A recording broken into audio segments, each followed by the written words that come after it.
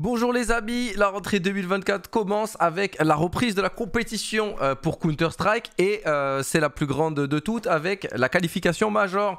Il y a Katowice aussi qu'on va, euh, qu'on va traiter dans une semaine parce que tout va s'enchaîner très très vite. je pense que c'est une des premières fois en plus où dès début janvier 2024 on a la reprise de la compétition de toutes les grandes équipes. D'habitude c'est plutôt le tiers 2 qui commence. Mais on va pas parler que de ça pour cette actu, on va parler également de cheat avec mise à jour euh, Counter-Strike et euh, des dizaines de milliers de personnes qui ont été bannies euh, pour cheat. Donc ça, ça fait très très plaisir. Hein. un, peu de, un peu de guéguerre contre le cheat. Mais également plein de sujets différents. Le mercato et tout ça que vous retrouverez dans la description. Merci de vous abonner si vous appréciez le boulot, les amis. Vous kiffez les skins CSGO On kiffe tous les skins CSGO. Tu peux te faire plaisir avec K-Drop et ouvrir quelques caisses. Tu peux aussi te faire plaisir avec des upgrades. Mais attention, c'est risqué.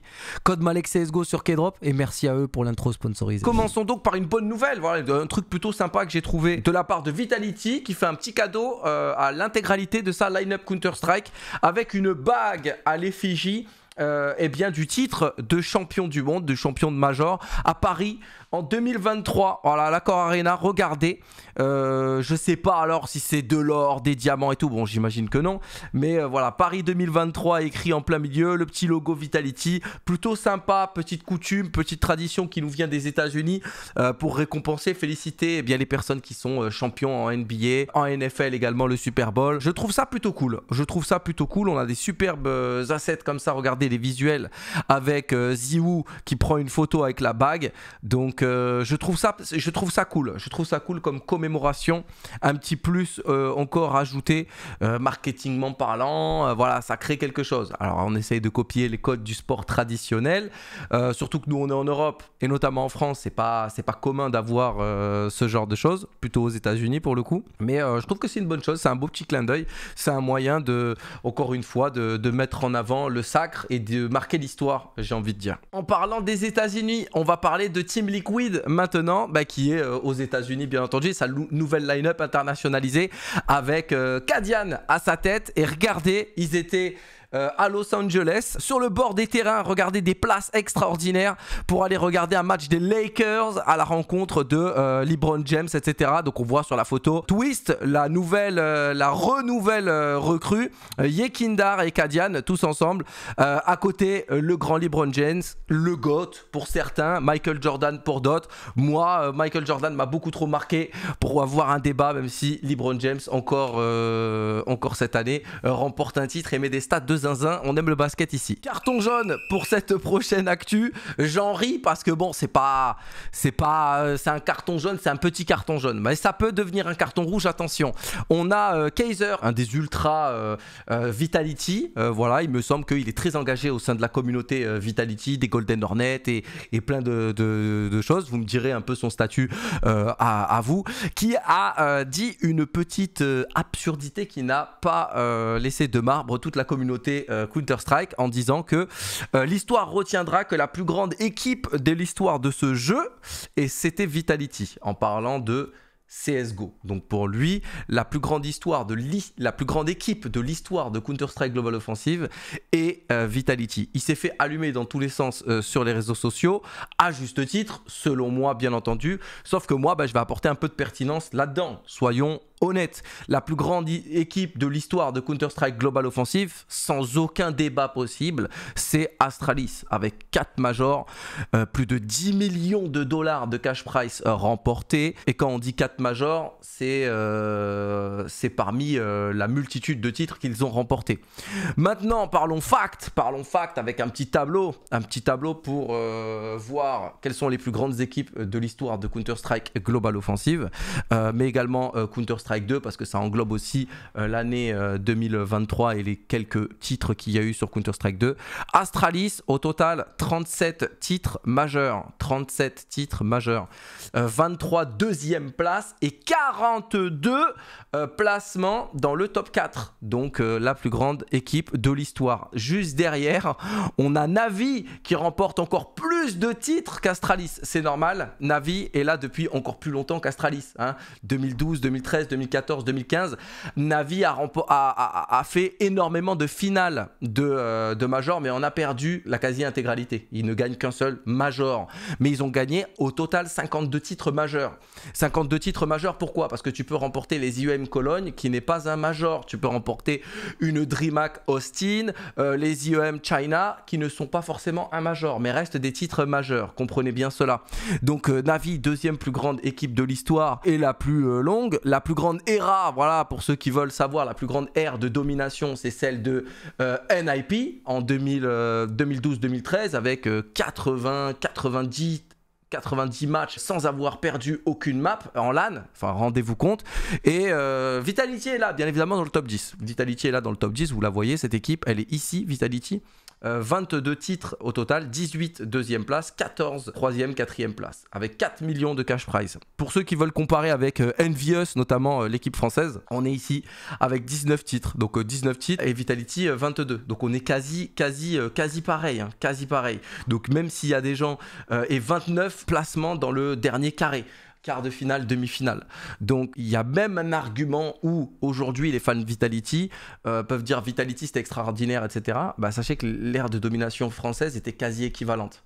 Sauf que le cash prize est deux fois moins élevé parce que c'était une époque où les cash prize n'étaient pas aussi importants que ce que ça l'est aujourd'hui. Donc, euh, il est là mon carton jaune où, en fait, il y a une nouvelle génération de personnes qui sont venues euh, apprécier Counter-Strike à juste titre parce que c'est un excellent jeu et qui veulent soutenir Vitality dans un premier temps d'une bonne manière, mais ils sont un peu en tunnel vision et ne respectent pas ou n'ont pas forcément connaissance de, de leur passé en fait et euh, du passé de Counter-Strike et qu'il y a des équipes qui sont eh bien, dix fois au-dessus de Vitality et en toute humilité en plus. Vitality est un nouveau-né, bien évidemment avec cette année 2023 qu'ils viennent de réaliser, ils rentrent dans l'histoire, faut être honnête. J'ai moi-même fait des vidéos euh, en leur rendant euh, hommage euh, Apex notamment, Ziwoo, etc., qui sont d'excellents joueurs, mais les périodes de domination qu'ont eu les Français avant étaient quasi équivalentes à celles de Vitality aujourd'hui, soyons plus que honnêtes là-dessus, voire même il y a des gens qui diront que c'était au-dessus, parce qu'en fait, Envious, c'était une période où ça gagnait des titres et ça jouait pour les titres. Donc c'était des deuxièmes places euh, constants, etc. Mais pendant une régularité euh, plus grande. Alors que Vita, euh,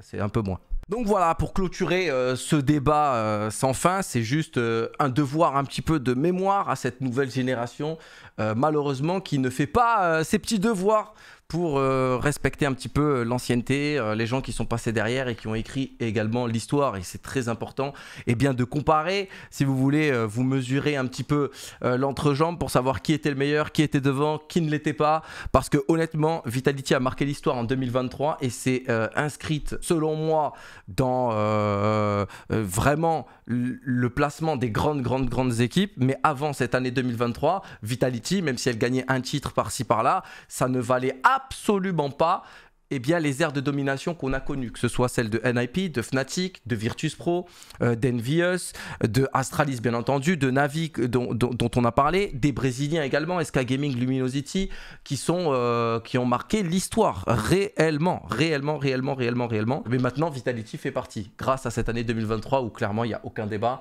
elle a arraché toute la concurrence et mérite tout simplement sa place eh bien, au panthéon des grands de l'e-sport. Normalement, le 1er janvier 2024, Counter Strike avait eu une petite mise à jour et on avait eu la mauvaise surprise, si je puis dire, d'avoir cette image au lancement de CSGO, pour ceux qui voulaient encore lancer un petit peu CSGO, et que en gros, à partir du 1er janvier, plus aucun support ne serait établi euh, de la part de Valve pour CSGO. Ça veut dire quoi Plus aucun support, plus de mise à jour, plus de correction. Si vous avez, si vous avez n'importe quel problème, un bug, quoi que ce soit, que vous faisiez un support, etc., plus aucune mise à jour ne serait au calendrier du jour de Valve pour corriger tout euh, ce méli-mélo. Donc euh, voilà, c'est la fin de CSGO bien entendu, même s'il y a des hubs qui pop-up un peu à droite, à gauche, sur Faceit notamment, pour continuer de jouer à CSGO, parce que Counter-Strike 2 est encore un petit peu boudé, euh, les amis, on va pas se le cacher. Comment est-ce que vous allez? On va parler euh, d'une bonne nouvelle, d'une bonne nouvelle. La semaine dernière, j'avais fait une vidéo totalement légitime, avec euh, des stats à l'appui.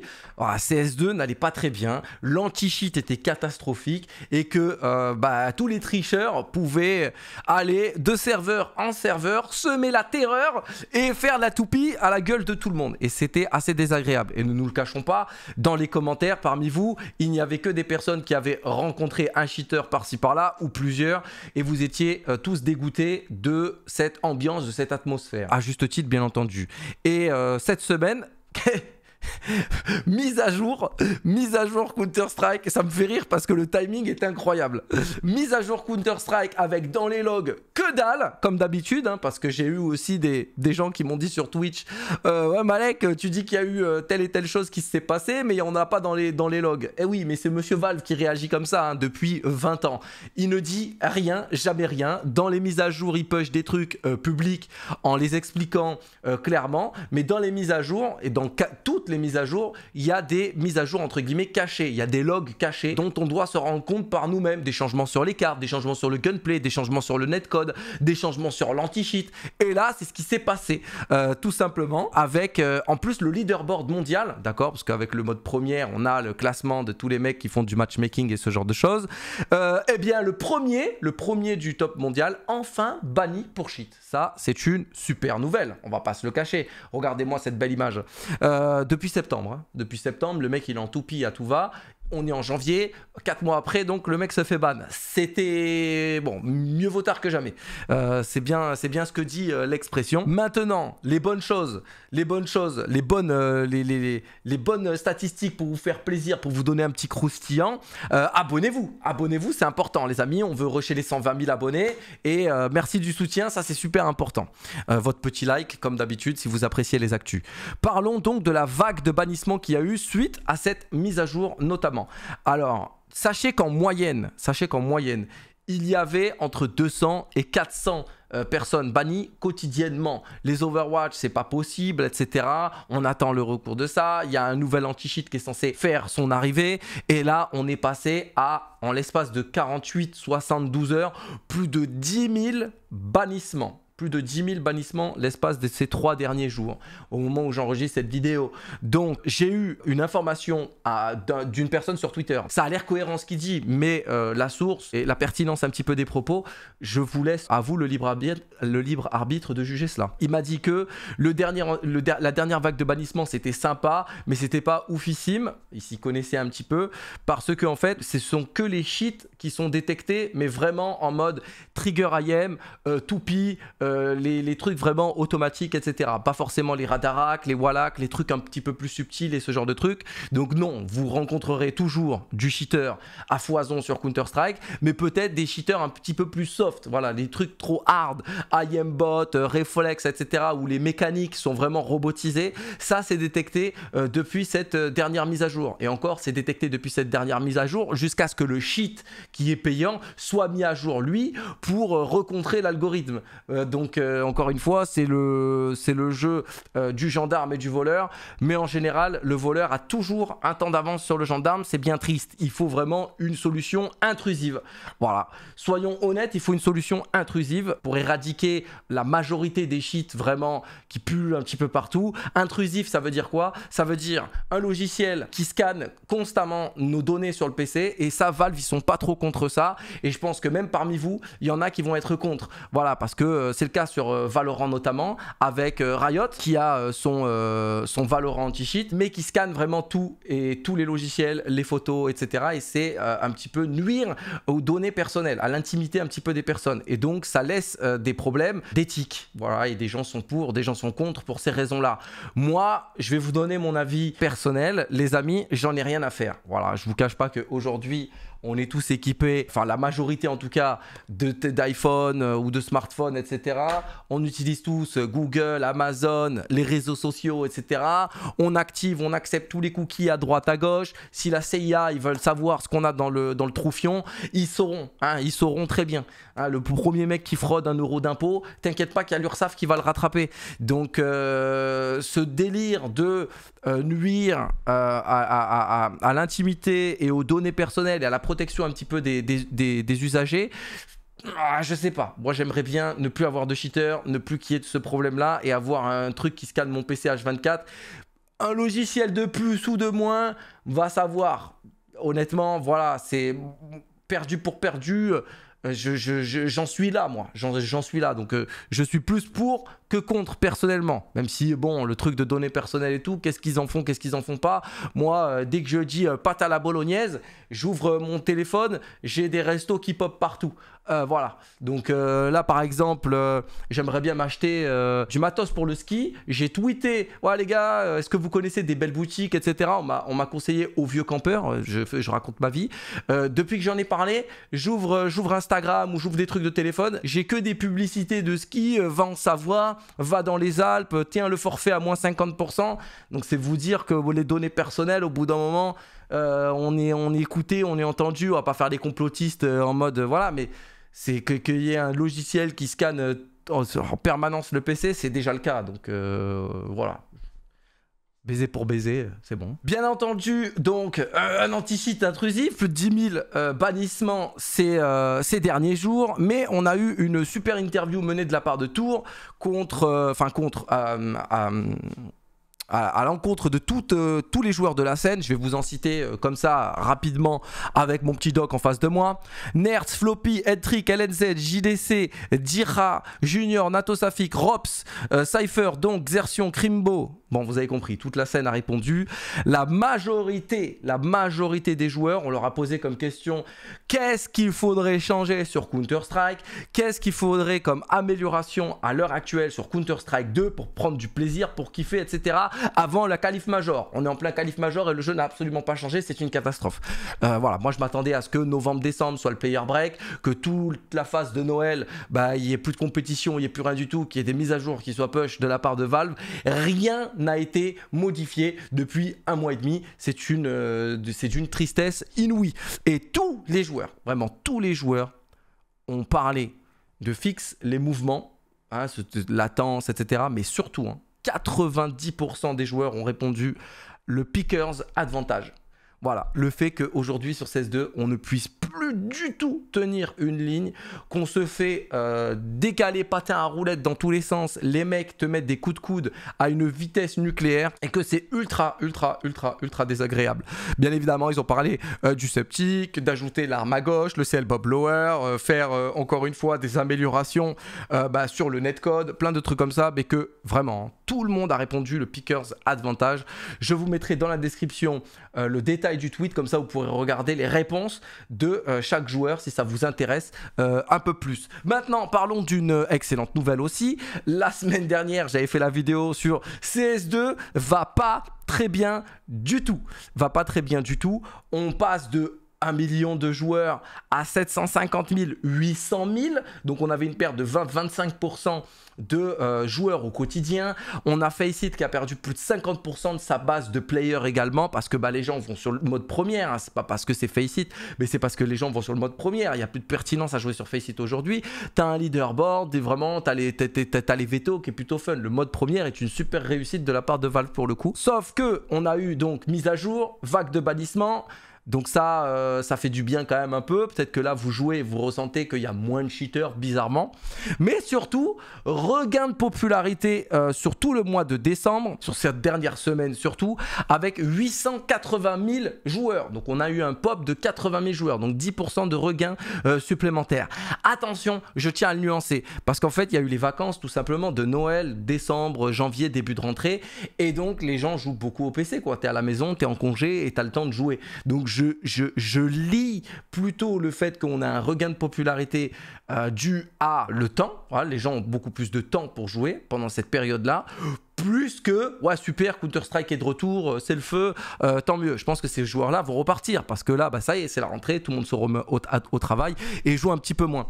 Donc, on espère surtout avoir des mises à jour avec la continuité de ce qu'on a vu cette semaine, un anti-cheat plus intrusif, des vagues de bannissement récurrentes pour lier contre tel ou tel truc. J'espère que les joueurs seront entendus suite à cette interview qui a fait beaucoup de bruit, hein. vraiment, vraiment, vraiment beaucoup de bruit. Elle a été vue plus de 180 000 fois sur Twitter. Valve a dû passer par là, ils sont très à l'écoute sur les réseaux sociaux et euh, tous les joueurs y ont participé, tous les joueurs ont parlé pour dire euh, bah il y a ça comme problème, il y a ça comme problème. Donc j'espère qu'on va euh, lutter contre ces choses négatives pour faire du bien à Counter-Strike. HLTV, le site emblématique Euh, qui euh, gère l'actualité de Counter-Strike. Hein, pour ceux qui ne connaissent pas ce site, je vous invite à le regarder. Le problème, c'est qu'il est uniquement en anglais. Hein. donc, euh, pour les non-anglophones ou les non-bilingues, ça va vraiment être compliqué pour vous. Mais c'est là que tout est fait. C'est le site où tu peux suivre tous les matchs, toute l'actualité. C'est vraiment la boussole de Counter-Strike. C'est pour vous dire l'importance. Je fais cette introduction pour vous dire l'importance de ce site. Counter-Strike dépend vraiment de ce site énormément. C'est tout passe par là. Vraiment, tout passe par là. J'ai un problème avec le site. Ils ont mis à jour leur page d'accueil. Euh, je vais vous la montrer en direct euh, au moment où j'enregistre avec euh, bah, le classement mondial. On voit le classement mondial ici. donc quand il va, boum, bah, tu vois mon équipe par exemple, 3D Max, top 28 monde à l'heure actuelle. C'est une super nouvelle. Oui, je flex un peu, ça me fait plaisir. On a les dernières actualités, le forum, les matchs en cours, les prochains événements. voilà, on a tout. On a tout. Le problème, c'est qu'ils viennent de rajouter ça. FPL ranking et qu'aujourd'hui, en fait, ils ont rajouté ce truc-là qui mène directement à Faceit avec le hub et euh, la FPL, etc. Alors, je sais, euh, je vais vous répondre. Qu'est-ce que c'est la FPL La FPL, c'est une ligue individuelle de joueurs professionnels.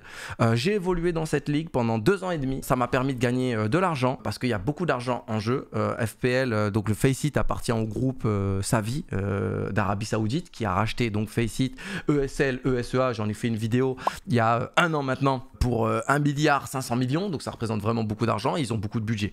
Donc ils ont dû payer très très cher pour être en page d'accueil d'HLTV. Alors pourquoi ça me pose problème? Ça me pose problème parce qu'on met en avant le pick-up, on met en avant euh, l'individuel au lieu du collectif. Là, on est dans un jeu e-sport. Imaginez que tu sois sur l'équipe, sur, je ne sais pas, NBA.fr, tous les sites de sport traditionnels, et euh, qui mettaient en avant, je sais pas moi, euh, le pick-up top 5 du City Stade des joueurs de foot, etc. et là, c'est une propagande sans nom qui me casse le crâne depuis des années. Je vais être ultra toxique, je vous le dis tout de suite. c'est faux. La chimère, le fantasme que vous vous mettez dans la tête, parce que vraiment j'ai des dizaines de commentaires là-dessus, j'ai des dizaines de messages quotidiennement sur Twitch là-dessus.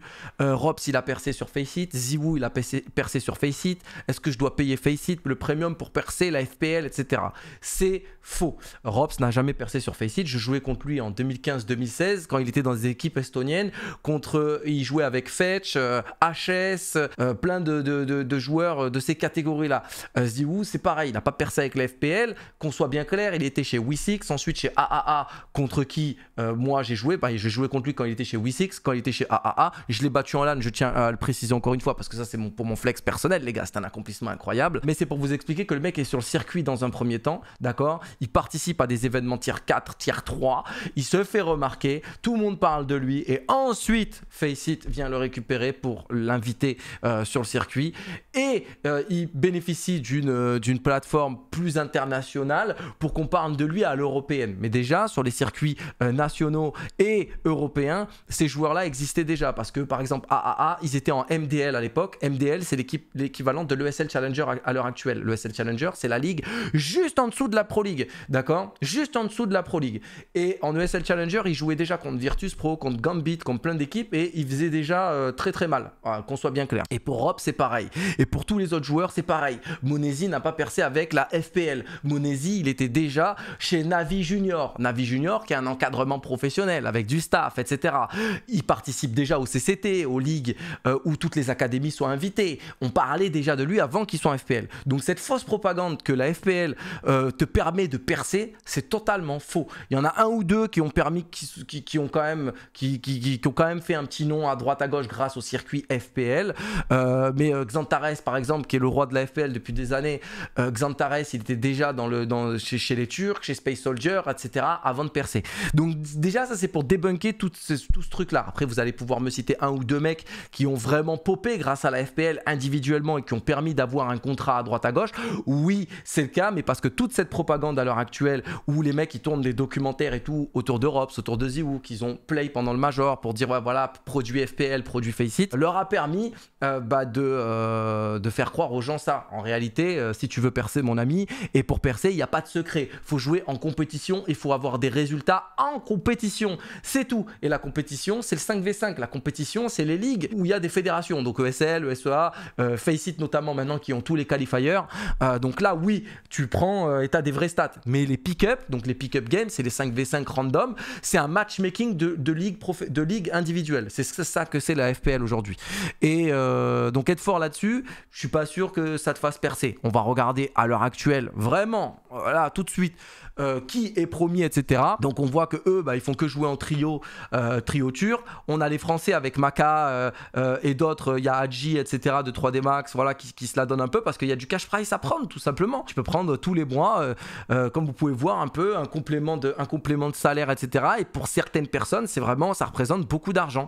Voilà, Woxic, dont on parle plus depuis un bon moment, ça lui fait du bien de d'aller grinder. Amanek, qui est bench depuis un moment, qui a monté un nouveau projet d'ailleurs. Il joue avec Sixer.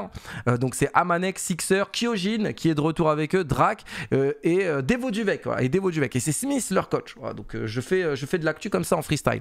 Bah, ça lui fait du bien d'aller gratter 1000 euros, 1000 euros tous les, tous les je sais pas combien de temps sur, sur Faceit. Ça sert à ça. Plus que, le grind, comme vous pouvez voir. Il y a Chaos, etc. Haji, Jax. et les mecs se la un petit peu là-dessus. C'est plutôt cool. C'est surtout un moyen pour les joueurs pros d'avoir un, lobby euh, un hub où tu que des joueurs pros en fait et de pas jouer avec des randoms. C'est pour ça que ça a été créé dans un premier temps. Moi, j'y ai euh, évolué sur le circuit FPLC, etc., faisant les qualifiers FPL euh, avec Nato Safix, avec Chaos et ce genre de choses pendant deux ans et demi. Et je gagnais toutes les semaines du cash prize. Voilà, toutes les semaines. Ça m'a permis de gagner quand même un peu d'argent.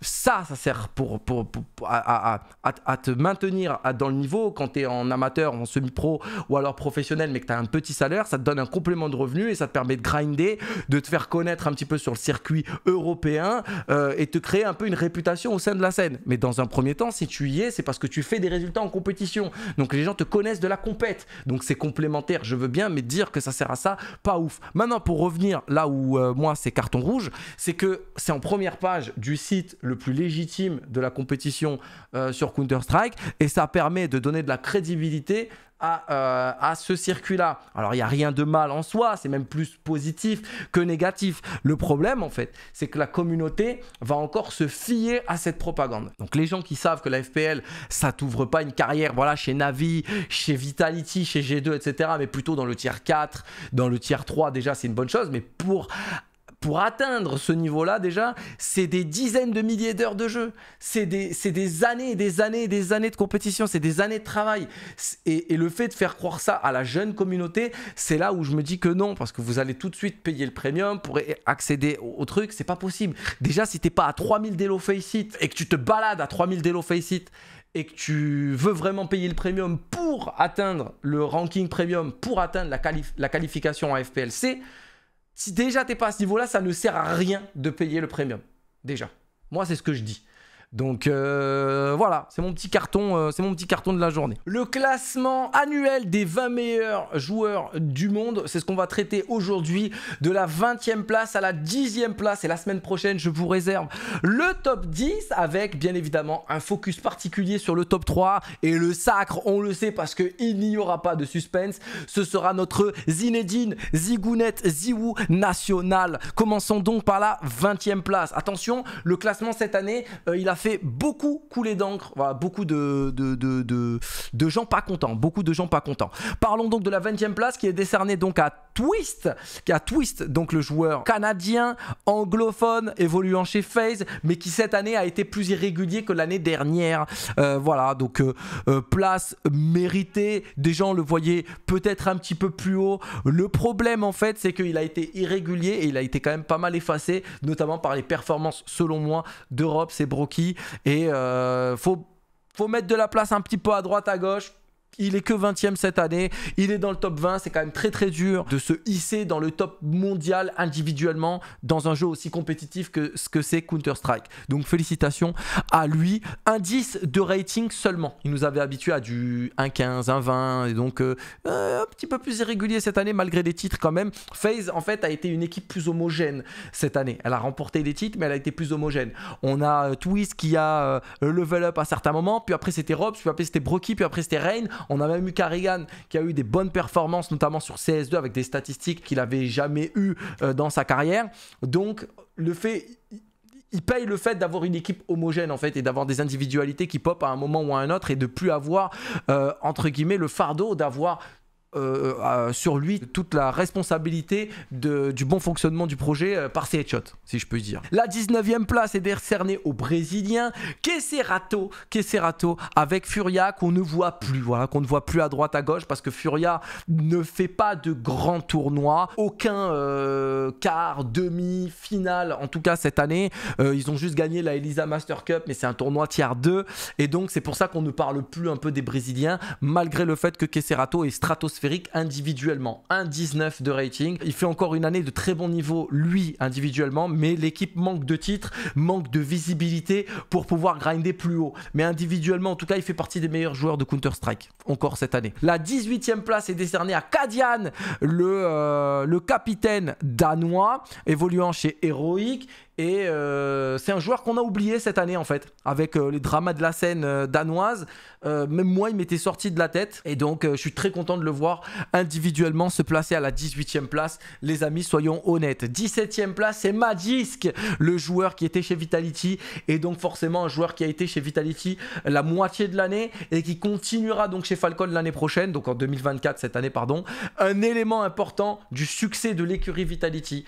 Et donc, récompensé par la 17e place. Félicitations à lui. Je suis très content. Il gagne quand même Rio, le Blast Major et le Gamers 8 avec Vitality. Euh, deuxième place au Spring Finals et troisième place à Cologne. Donc euh, super, euh, super résultat quand même pour Magisk. F qui est là alors que Astralis ne gagne que dalle, mais font une superbe troisième, quatrième place à Cologne. Ça, il faut le souligner. Le problème avec F c'est que c'est un scoreur monstre. Voilà, c'est une machine à headshot, c'est une machine à scorer, donc il a un 20 de rating, il a un gros KD, et donc forcément il fait partie des meilleurs joueurs individuellement, à juste titre, faut pas faut pas le négliger. Maintenant, c'est cette année qu'on va regarder euh, BlameF. C'est cette année qu'on va regarder Astralis parce qu'ils n'ont plus aucune excuse, plus aucune excuse pour ne pas performer à haut niveau. Pourquoi? Bah, Parce qu'ils ont fait une Dream Team. ils ont fait une Dream Team danoise. On va vraiment voir le potentiel de ce joueur euh, pour savoir s'il va vraiment rentrer dans le top 10 et les places en tout cas euh, qu'il est censé mériter. À la 15e place, c'est Jabi le joueur danois qui évolue chez Heroic et maintenant est chez Astralis pour 2024 euh, avec tous les dramas qu'il y a eu euh, au Danemark. Et euh, pareil, hein, c'est ce que je disais pour BlameF, c'est ce que je vais dire pour lui. Plus aucune excuse pour pas aller grinder le top 10 parce qu'il joue maintenant avec des joueurs dont il a toujours rêvé d'avoir comme coéquipier. Device notamment, BlameF aujourd'hui. Donc plus d'excuses pour cette équipe danoise. Pour moi, très très justifié la 14e place de Nertz, la révélation de l'année pour moi. Vitality souhaitait l'avoir mais le montant du transfert était trop élevé. C'est ce que j'ai tweeté parce que j'avais eu une information comme quoi au moment de recruter le départ de Dupré, on voulait Nertz chez Vitality, mais on s'est rabattu donc sur Flames parce qu'il était gratuit. Et euh, monsieur Dan Madescler Apex répond à mon tweet en me disant euh, Non, je suis désolé, c'est une mauvaise information. Et il me dit euh, Non, même si Flame Z n'était pas gratuit, nous aurions donc pris Flame Z. Donc c'était vraiment le premier choix. Donc je sais pas pourquoi j'avais cette information. Donc je tiens à montrer mon erreur encore une fois aujourd'hui. Et donc Nertz, monstrueux, 15 hein, de rating.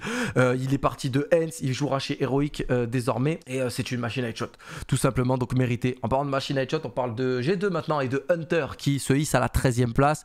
1,09 de rating, sauf qu'il a été un peu plus irrégulier cette année. Et G2, de manière générale, a été irrégulière. Mais il remporte quand même historiquement IEM Katowice, IEM Cologne, plusieurs 3e, 4e places. Ils font des carrés finaux dans quasi tous les tournois. Donc ça montre quand même une régularité sur la partie globale, mais une irrégularité individuelle en tout cas. Donc euh, deux titres historiques pour la franchise, pour moi, euh, c'est une année record pour G2, donc amplement mérité. Malheureusement, on ne peut pas décerner le titre de MVP à tout le monde et on ne peut pas donner la médaille d'or à toutes les équipes. Il faut des gagnants, il faut des perdants. Et cette année, G2 a gagné, mais a aussi perdu. Placer euh, Hunter dans la 13e place, sachant que dans le top 10, il y aura très certainement, enfin c'est sûr, Monesi et Nico. Ça fait trois joueurs placés dans le top 20 HLTV pour G2. Je pense que c'est limite historique. Donc pour moi, c'est une belle année de G2 et une belle année de Hunter. 12e place, et là, ça va faire grincer des dents.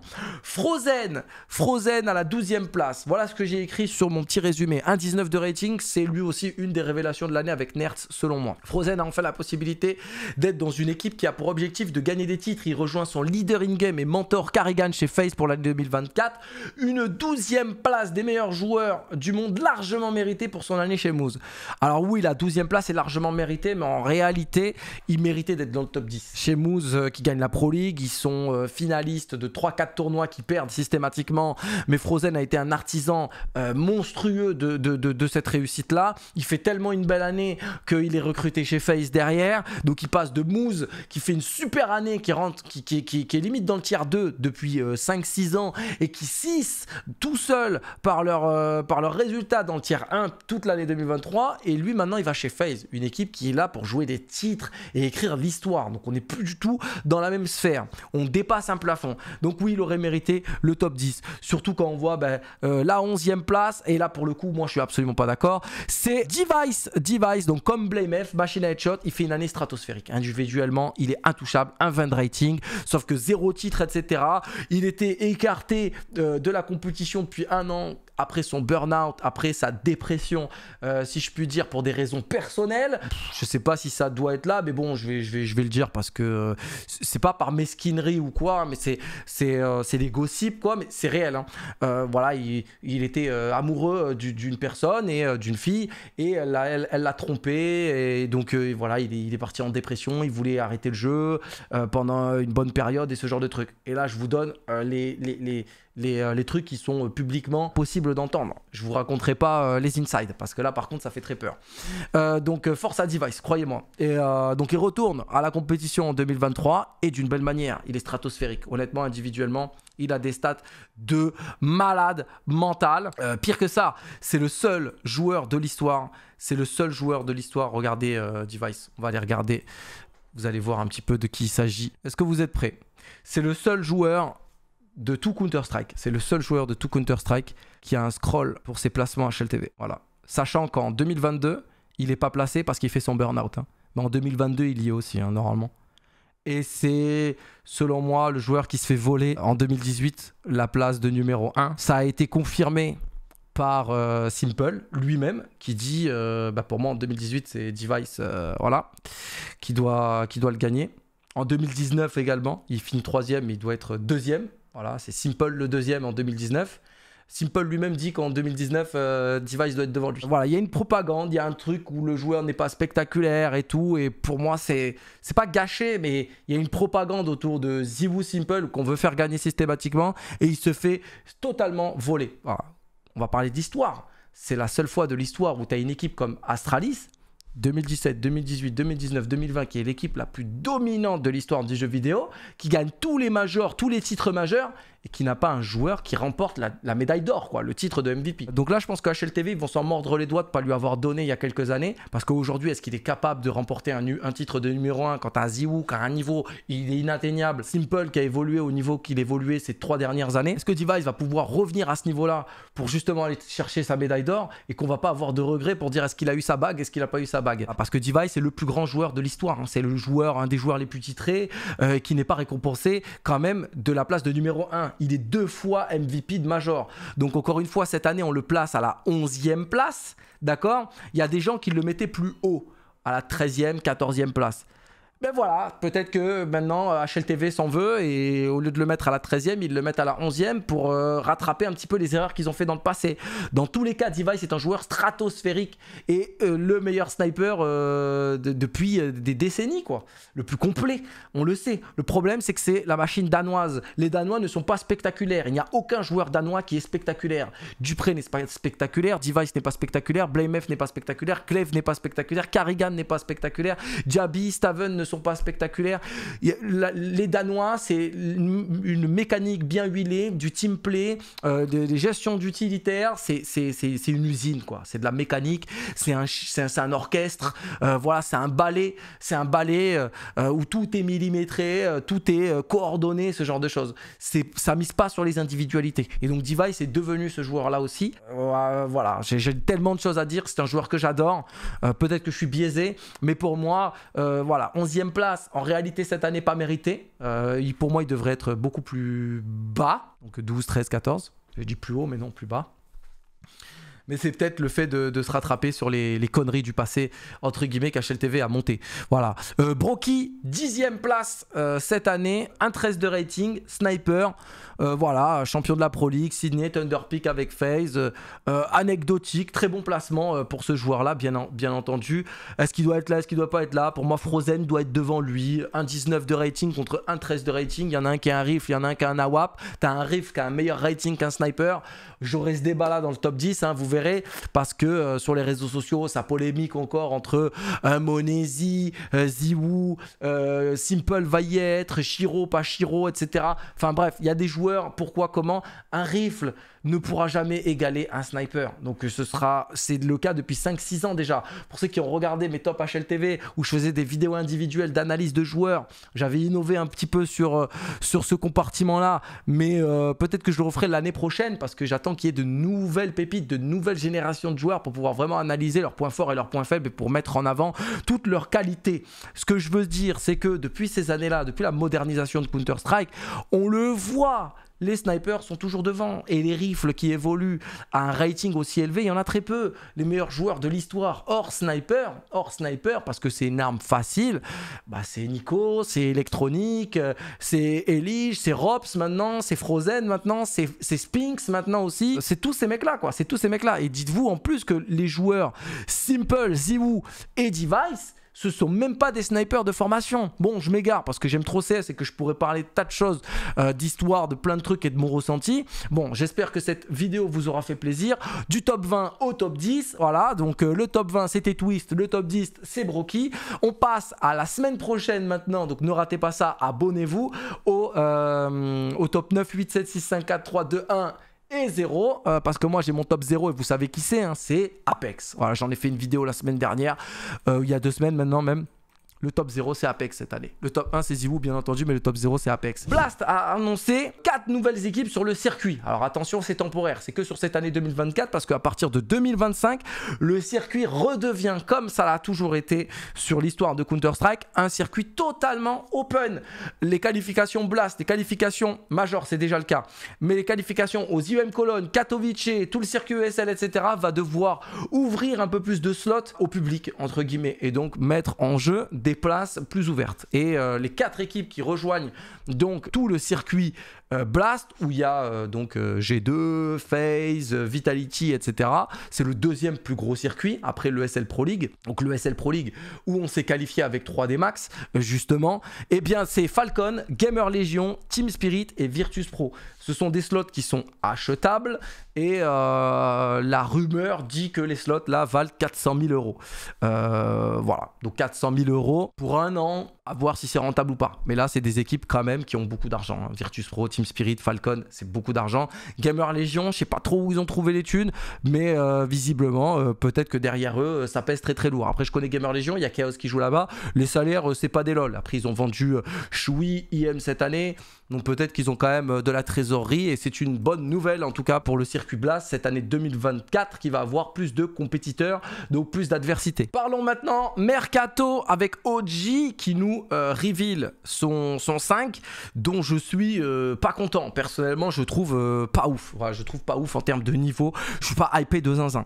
Kito, Fikyu, Regali, Nexius et Evigod. C'est la dernière recrue qui est un joueur israélien. Alors pourquoi je dis qu'il est israélien et pourquoi je mentionne ce fait là C'est parce que encore une fois, on voit que dans cette région du monde et cette nationalité notamment, eh bien ça pop un peu à droite à gauche. On a Nerds, on a Flames, on a Spinks et maintenant on a Qui évolue donc 4 joueurs à un niveau euh, internationalement très très très très haut. Limite tier 1 pour OG en tout cas, enfin moi je, pense qu'on peut les mettre là-dedans. C'est le petit tier 1 mais on peut les mettre là-dedans. On voit que c'est très solide alors que pour les Français, euh, pour faire la comparaison, eh bien on a Apex, on a euh, et c'est tout quoi. Dans le tier 1, je parle, on a donc euh, Afrobody, juste un cran en dessous chez Fnatic, et 3D euh, Max, euh, qui est top, top 26 monde à l'heure actuelle.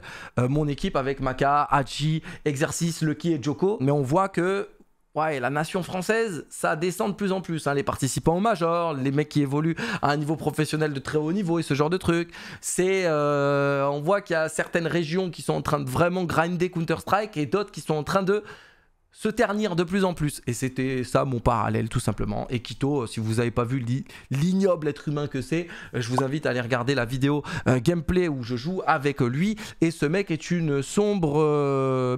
Bleed a enfin son 5, la nouvelle organisation qui a recruté donc 5 joueurs la semaine dernière. euh, je vous apprenais que JKS avait euh, refusé euh, leur offre de recrutement. Avec en plus en leader in-game, on a Cerc, la Wapper, qui évoluait chez Evil Geniuses, Faven, Cypher et Lanx, le dernier joueur plutôt solide, et Kassad en coach, qui est évolué lui chez Renegade Extrebob, donc euh, un coach de niveau tier 1 qui a déjà participé à des majors. Cette équipe, sur le papier, c'est vraiment pas mal. Il y a du firepower, il y a de l'intelligence de jeu, Faven qui va support un peu à droite à gauche, Cypher très très solide, euh, en plus qu'elle a aussi. Franchement, j'aime pas mal ce projet. Un tricheur est de retour sur le circuit professionnel. Ça, c'est le scandale de la journée. Mais que, que voulez-vous hein? Quand t'es fort, t'es fort. Quand t'es, je sais pas. J'ai la flemme d'être toxique. J'ai la flemme d'être toxique. J'ai la flemme d'être euh, d'être outragé. Euh, TSM vient d'annoncer son 5 définitif. TSM vient d'annoncer son coach euh, également. Son coach Reijin, le coach euh, danois, qui a été banni pour coach bug depuis euh, des années. Si vous avez vu ma vidéo sur le coach bug et le scandale le plus incroyable de l'histoire du jeu vidéo, eh bien il a été banni. Maintenant il est en période de déban. Voilà, il récupère un slot, enfin il récupère en tout cas un poste directement chez TSM. Attendez, c'est pas fini. Attendez, c'est pas fini. Et le cinquième joueur donc de TSM, je vais vous citer les quatre premiers. Jax, le joueur français. Valdé, Interz, Modo. Et le cinquième joueur, c'est Joël. Joël est de retour. Donc Joël est de retour, les amis. Le tricheur. Joël le tricheur, tout simplement. Le joueur qui a match fixé, euh, qui a truqué des matchs, euh, qui a été condamné par euh, le SIC, mais qui revient. Alors attendez, le timing, c'est encore plus marrant. Le 6 janvier est annoncé le recrutement. L'annonce officielle, etc. de TSM. Le 8 janvier commence la qualification major. Voilà. Ni vu, euh, ni connu. On récupère des tricheurs, on récupère des mecs qui ont fait des coach bugs, des mecs qui ont truqué des matchs, qui ont parié contre eux-mêmes et fait semblant de jouer euh, comme des nullards pour s'en mettre plein les poches. Pire que ça, statement de notre ami Joël sur Twitter, après le shitstorm qui s'est pris parce que tout le monde lui est tombé sur la tête euh, après son annonce de recrutement. Alors là, c'est du, euh, c'est du jamais vu. C'est du jamais vu. Il a cité Kobe Bryant paix à son âme, un des plus grands compétiteurs de l'histoire du sport. They don't hate the good ones, they hate the great ones. Voilà ce que Joël il a tweeté. 200 000 vues sur Twitter. Pour ceux qui ne comprennent pas l'anglais, il ne déteste pas les bons, il déteste les grands joueurs. Donc il se prend pour un grand joueur. Voilà, c'est Joël, euh, je chie à la gueule de tout le monde. TSM, euh, carton jaune de zinzin, euh, ça recrute coach qui triche, joueur qui triche, des mecs qui savent même pas faire semblant euh, de regretter, hein. fais-nous euh, fais-nous le blabla habituel.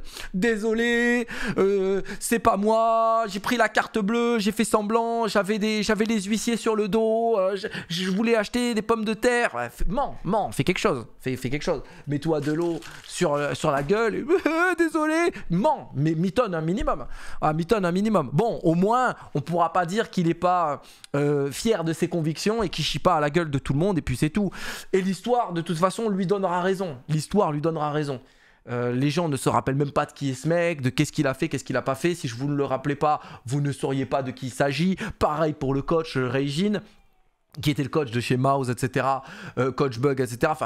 Bref, Euh, pourquoi l'histoire lui donnera raison? Parce que là, il, évolue à haut niveau, il est signé chez TSM, donc il est professionnel de jeux vidéo, ça va aller sub à sa chaîne Twitch, ça va lui donner de l'argent, ça va lui demander sa sensi, son crosshair, et, pour, et c'est un bon joueur, hein, je tiens à le préciser quand même, et pour peu qu'il réussira euh, deux, trois petites performances à droite à gauche, ça reviendra retourner sa veste pour lui bouffer le cololo, si je peux me permettre. Voilà. Moi, non, je, me permettrai de lui lâcher des crottes donné, à chaque fois que j'en aurai l'occasion, comme je le fais pour les Français aussi qui évoluent à l'heure actuelle, encore une fois euh, sur le circuit et que ça gêne absolument personne de faire euh, des petits euh, des petits five stacks de matchmaking à droite, streamer avec lui, streamer avec lui, tout le monde se mélange avec les tricheurs, les mecs notoirement dégueulasses. Ça, ça vous dérange absolument pas. C'est une, c'est, on a changé.